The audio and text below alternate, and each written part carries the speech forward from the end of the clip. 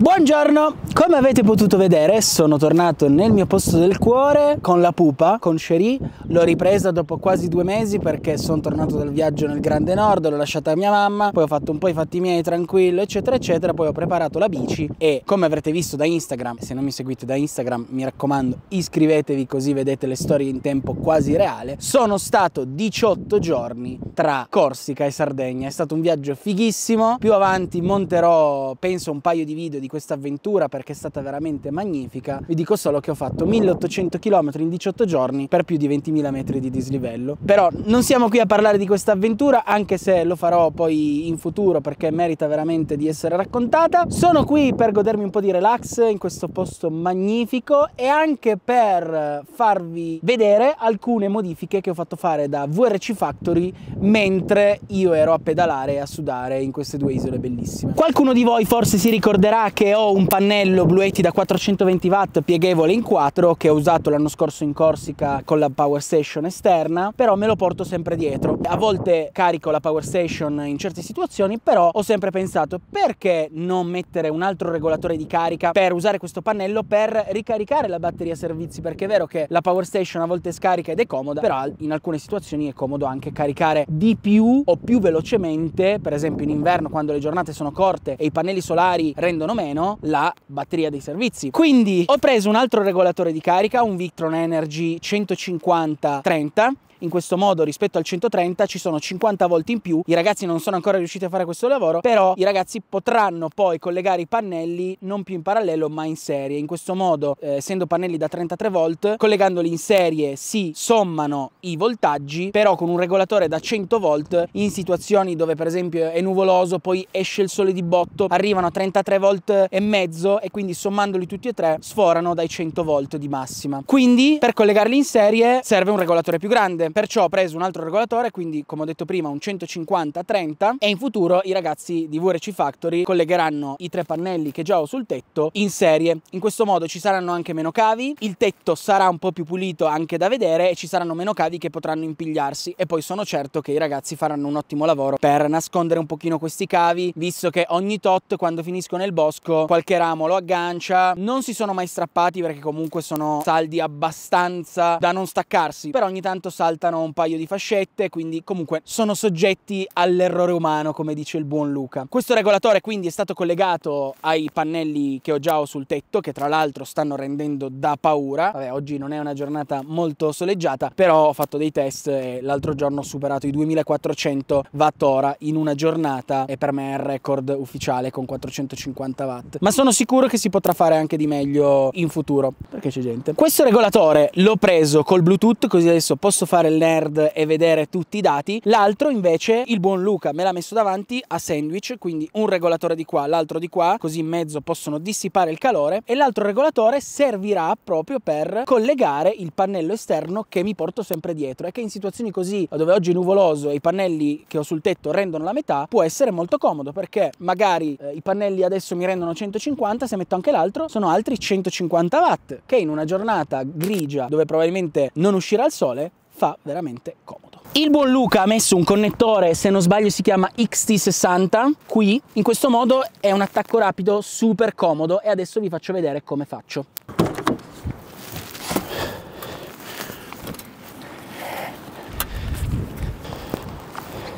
Qui come potete vedere abbiamo maschio e femmina del pannello solare con i connettori rapidi MC4, qui allo stesso tempo abbiamo MC4 maschio e femmina, quindi andiamo a fare maschio con femmina, maschio con femmina, il cavo del, del pannello è circa 3 metri, quindi non è sufficiente perché io l'attacco ce l'ho qua, ma se voglio mettere i pannelli di là, oppure l'ho anche fatto perché io patisco veramente tanto il caldo, sceri anche, il ducatone anche e tutto rende meno con il, con il sole, per esempio il frigo, poi dentro non si può stare se hai più di 30 gradi e quindi questo pannello può tornare veramente comodo in situazioni dove per esempio in estate c'è una pineta e io voglio comunque caricare i pannelli. Il problema di un mezzo come un van o un camper in generale qual è? È che noi per ricaricare tutto abbiamo del sole, ma col sole dentro diventa un forno e quindi io questo me lo metto 10 metri perché ho questo cavo che è 5 metri, questo che è circa 3-4, più ne ho preso un altro e io sto all'ombra, al fresco e comunque mi arriva corrente in batteria.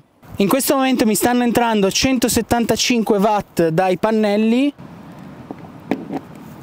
e ora che l'ho collegato 2,70 quindi capite che 100 watt in più possono sembrare pochi ma a fine giornata potrei avere un kilowatt ora in più. Quindi buttiamoli via. Poi magari tra poco esce il sole e, e basterebbero i pannelli sul tetto. Però questo è per farvi vedere che non è male l'idea. Un altro lavoro che è stato fatto dai ragazzi è stato quello di cambiare i pistoni del tetto soffietto che ormai dopo tanti anni lavoravano male, anche perché il mio errore 4 anni fa se non sbaglio è stato quello di cambiare un solo pistone. Ho visto che da un lato andava male quindi ho cambiato solo quello. Ovviamente quello lì poi nuovo spingeva di più dell'altro e quindi è sempre un, capite, non, non va bene. In questo caso li ho cambiati entrambi, vanno bene anche se in realtà col peso che c'è davanti della scatola, della, del case di Starlink più l'antenna di Starlink non spinge benissimo quindi non ci ho pensato all'inizio di far fare dei pistoni su misura un pochino più potenti e adesso lo uso così poi con calma mi farò fare dai ragazzi che hanno le loro conoscenze. Dei pistoni 50 newton eh, al chilometro non so bene l'unità di misura più potenti. In questo modo spinge bene da entrambe le parti. Comunque rispetto a prima ovviamente non c'è paragone e va benissimo non ci lamentiamo Qualcuno di voi l'avrà visto, ma è ormai da qualche mese, pochi in realtà perché l'ho usato ad aprile, poi sono andato in bici, eccetera, eccetera, però mi sto trovando veramente bene e sto usando per cucinare la piastra induzione. Ne ho comprata una portatile molto potente, ora con il nuovo inverter da 2000 watt la posso usare ed è una vera figata. Più che altro mi sono accorto che è un peccato non usare tutta la corrente che c'è in eccesso nei mesi estivi. Logicamente utilizzare una piastra induzione così in inverno è, non dico impossibile, ma con l'impianto impianto che ora da 200 A è difficile. Però da aprile a settembre-ottobre, in base a dove si è e ai, ai, pannelli che si hanno, è un vero peccato arrivare a, a metà giornata e dire ok, le batterie sono cariche, tutto quello che produco ora è buttato nel cesso. E quindi perché non usare quella corrente, quell'energia in eccesso per cucinare? È vero, io durante un anno uso 4-5 bombole, quindi non posso dire che sia un costo così eccessivo, però è veramente comodo usare l'induzione. Quindi ho comprato questa piastra che però all'inizio era in mezzo alle scatole e quindi pensando di qua e di là, poi gli spazi all'interno del Ducatone sono quelli che sono, mi è venuto in mente di dire ai ragazzi di VRC Factory, raga, perché non mi fate una specie di slitta da mettere sotto ai pensili del letto? E adesso vi faccio vedere dove tengo in marcia la piastra induzione. Voi logicamente ora non fate caso al disordine, però il funzionamento è questo qui ho la mia piastra induzione che posso togliere in un attimo e sta su per pressione diciamo. Vedete? Lei viene via e poi la rimetto a posto. Così non ce l'ho in mezzo alle scatole e non rischio che si vada a rompere non nascondo assolutamente il fatto che in futuro mi piacerebbe passare a un impianto di batterie, volevo dire di pannelli, ma più di così non posso fare, però potrei aumentare le batterie e mi piacerebbe molto farlo. Ci sto lavorando, ci sto lavorando, in questo modo potrei avere più autonomia in inverno, potrei cucinare con l'induzione, non dico sempre, ma quasi, potrei cambiare piano cottura e metterne magari uno doppio, uno con due fuochi, uno induzione e uno a gas, in modo da avere l'alternativa. Potrei avere una ricarica maggiore da, dall'alternatore, con un DC-DC dedicato più performante, e quindi sono tutte cose che sto facendo, però già questi sono degli ottimi upgrade. In uno degli ultimi video ho tirato giù un albero secco e non mi sono sentito minimamente in colpa mentre lo facevo, prima di farlo, quando l'ho pensato e anche dopo. Eppure i commenti negativi sono stati tantissimi, ahimè questo è il web e sono assolutamente preparato e allenato sotto questo punto di vista, però non mi aspettavo tutti questi commenti per aver tirato giù un albero morto, che probabilmente sarebbe caduto di lì a poco e poi sarebbe marcito come mille altri che erano presenti in quel terreno. Mi dispiace pensare che la preoccupazione più grande dopo aver visto un video del genere dove c'è amore per la natura, per il campeggio libero, per ciò che dovrebbe essere la base per una vita serena o perlomeno questo è ciò che io faccio per essere felice. Mi dispiace molto però ci sono persone che danno peso a queste cose qua e non ad altre, ma va bene così. Sono stato addirittura accusato da fascisti, ma questo è un dettaglio di poco conto, di non fare la giusta divulgazione comunicazione e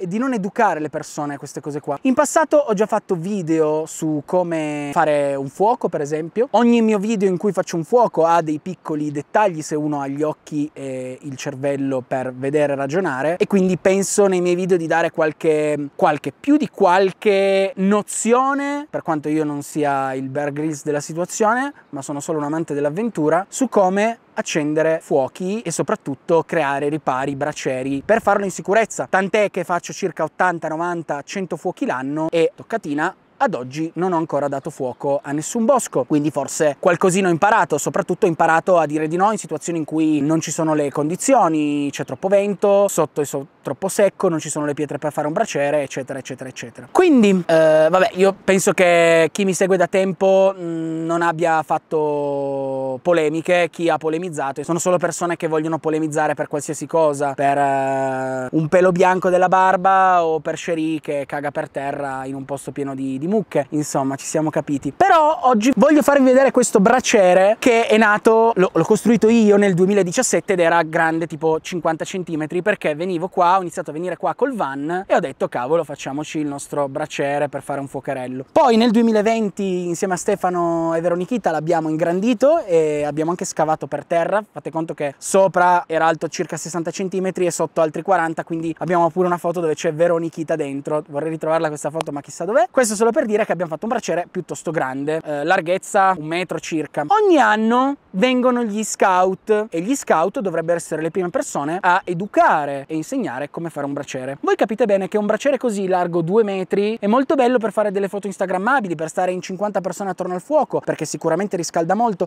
ma appena tira un po' di vento, una pietra alta 20 cm non ripara assolutamente nulla. E quindi un braciere così largo 2 metri ti permette di fare un fuoco enorme, se c'è erba secca attorno è un disastro, è un disastro. Sicuramente non adesso perché è tutto verde e potrei fare anche un fuoco per terra non succederebbe nulla, però capite bene che il braciere è la cosa più importante per fare un fuoco in sicurezza. Quindi io mi chiedo, tu, voi che avete fatto questo braciere, avete buttato giù il mio e l'avete fatto largo due metri, ma che cazzo volevate fare? Quindi per l'ennesima volta adesso dovrò scavare, togliere la brace e rifare il braciere, rifarlo della metà, mettendo le pietre non una vicina all'altra, ma una sopra l'altra per creare una struttura alta e resistente, sia perché deve tenere, sia perché deve essere alta abbastanza da contenere le fiamme. Quindi pala, quella da, da, da sci che ho sempre dietro, piccolina, e ci mettiamo a scavare.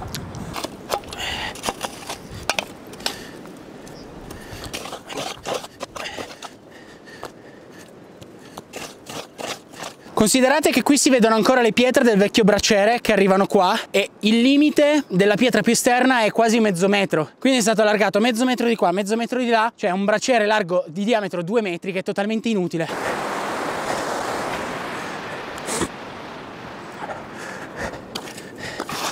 Allora, sembra che io non abbia fatto nulla, in realtà ho cercato di pulire tutto attorno, ovviamente essendoci cenere, brace, poi avendoci piovuto sopra, scavare, soprattutto con una pala che non è adatta per scavare su terra, non è stato facilissimo, però sono riuscito a scavare di circa 20 cm, da solo ho fatto il possibile e ho tolto tutto lo schifo che c'era attorno. Adesso l'obiettivo è fare un braciere qui molto più piccolo e quindi spostare tutte queste pietre, tranne quella da questa parte, credo, forse queste le lascerò, non lo so, spostarle più nella zona interna, in modo da creare un braciere più alto e più piccolo. Probabilmente basteranno queste pietre, se non basteranno sono vicino al fiume, è pieno di pietre, potrei fare un braciere alto così.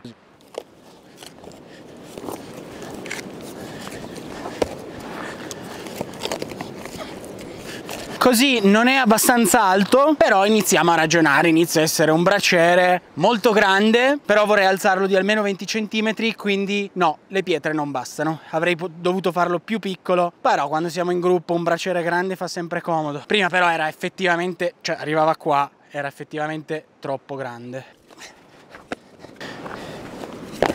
Comunque la struttura è solida anche perché una pietra così peserà più di 10 kg, l'ho appoggiata in maniera abbastanza violenta e il braciere non... insomma la struttura è rimasta lì. Allora io non so se renda l'idea, però ora posso dirvi che questo è un vero braciere. Sto smadonnando per portare questa pietra che sarà 50 kg in modo tale da mettere pietre veramente grosse sotto, cercare di disinvogliare i futuri adrami a smontarmi sto cazzo di braciere che ogni volta devo rifare sono bestemmie. Oltretutto se non vengono le mucche a tirarlo giù e comunque ci sta, nel senso che eh, sono bestie non lo sanno, il braciere resta su. Cioè, a volte quando non vengono questi amichetti qua che, che lo rifanno tutto da zero, io quando torno qua a, fine, a inizio stagione devo metterlo un po' a posto per la neve, il ghiaccio, eccetera, eccetera, ma poi non devo rifarlo completamente.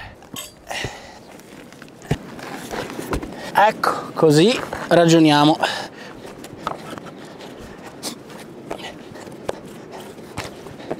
Considerate che mi arriva all'altezza del cavallo che sarà, non dico un metro, ma 80-90 centimetri tutti e quindi direi che in questo caso si può dire che il fuoco sia protetto piuttosto bene. Direi che questo si può considerare un gran bel braciere. Se quelli che me lo smontano ogni volta stanno guardando questo video, vi prego lasciatelo così. Se avete freddo perché ballate attorno al fuoco o vi versate un altro bicchiere di vino oppure vi vestite un po' di più. Grazie.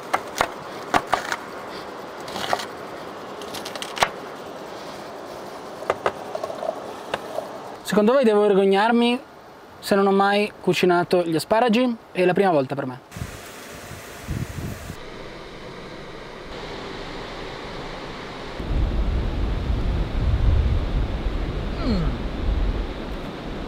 Cavolo.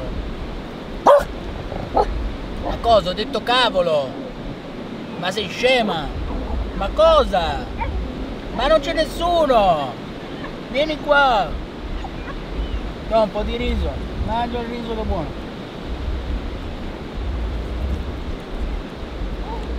Non c'è nessuno. Allora, devo dire che cucinare risotti non è il mio, nel senso che lo faccio molto raramente, il riso l'ho fatto senza brodo, quindi insomma.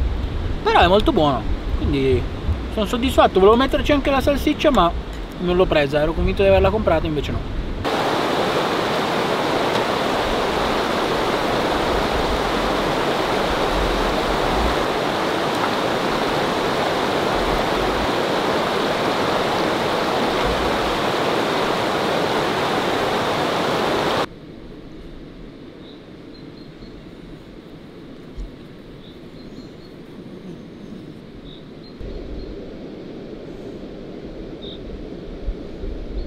E allora?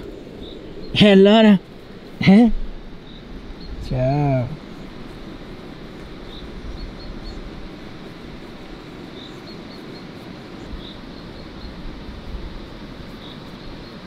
Le persone più attente noteranno che il case di Starlink è leggermente cambiato. Per quale motivo? Il primo case è stato fatto in modalità test, quindi io sono partito per il Grande Nord e l'ho testato. Il problema qual è stato? Molto semplice, praticamente quando nevicava, soprattutto quando faceva neve un po' bagnata, poi si scioglieva perché comunque Starlink riscalda e poi ha anche una resistenza che si può attivare per sciogliere la neve. Lei è vero che scioglieva la neve, ma avendo una piccola leggera conca e non avendo tanta inclinazione il precedente case, la neve diventava acqua, diventava tutto un pacciocco strano e si bloccava lì. Questo cosa significa in parole povere? Che la velocità della connessione internet andava a calare drasticamente anche di un terzo. Un giorno mi sono accorto di questa cosa, sono andato su, ho pulito con una scopetta e boom, ha ricominciato a spingere di brutto. Quindi ho subito avvisato Luca di questa cosa. Si chiamano test proprio per questo motivo e quindi abbiamo notato questo piccolo problema. Ovviamente quando c'è il sole in condizioni normali questo non è assolutamente un problema, quando piove potrebbe esserlo. E quindi per evitare di andare sempre fuori fuori, fare così quando piove, cosa abbiamo fatto? Anzi, cosa ha fatto il buon Luca insieme a Filippo Serena? Ha deciso di dare un'inclinazione maggiore proprio per invogliare l'acqua per gravità a scendere. Però cosa succede? Per quale motivo è inclinato da questo lato qua? Dal punto di vista estetico sarebbe stato sicuramente molto più gradevole alla vista mettere il case inclinato in avanti come se fosse uno spoiler.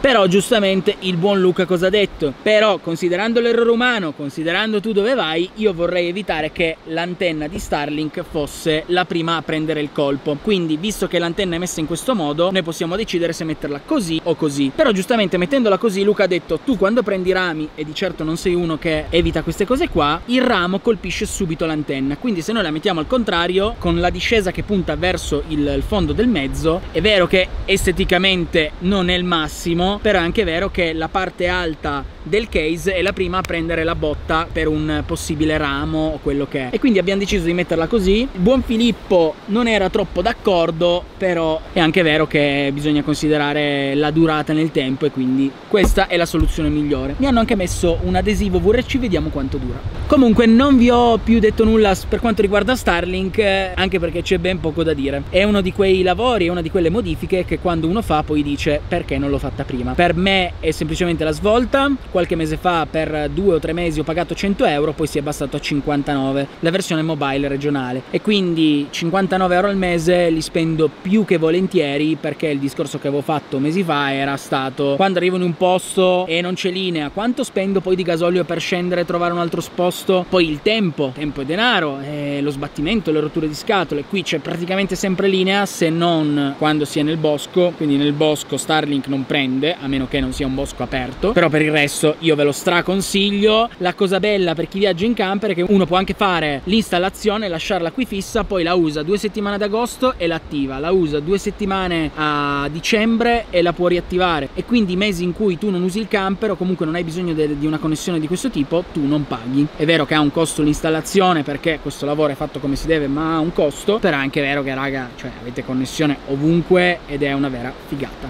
Non sono pagato da Elon Musk, purtroppo, o per fortuna. Ciao. Ah, comunque in bici mi, mi, sono aperto per bene perché ho fatto un bel volo e quindi ci metterà un po' a... Cioè più che altro non fa male però dà fastidio. Ciao!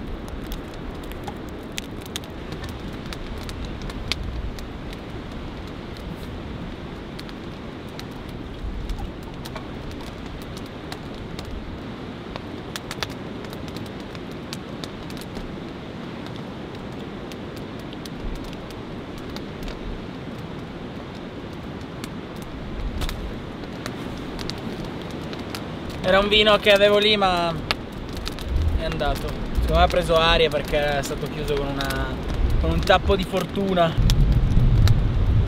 Chateaubois de Le Charbonnier.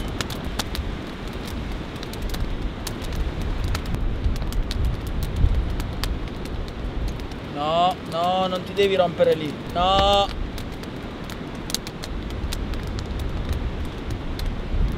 Porco... E anche questa è la Van Life. Seguimi per capire come non aprire una bottiglia di vino.